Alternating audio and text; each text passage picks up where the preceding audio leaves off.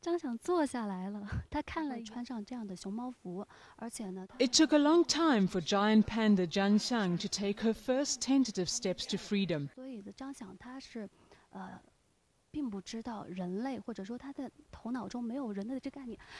张想走出来了， Released into the wild in China, the female was surrounded by keepers dressed in specially scented panda costumes to avoid scaring her. 并不陌生，但 Zhang Xiang was raised in captivity and was taught to survive in the wild at a nature reserve training base. She is the third panda in seven years to be released into the wild in China.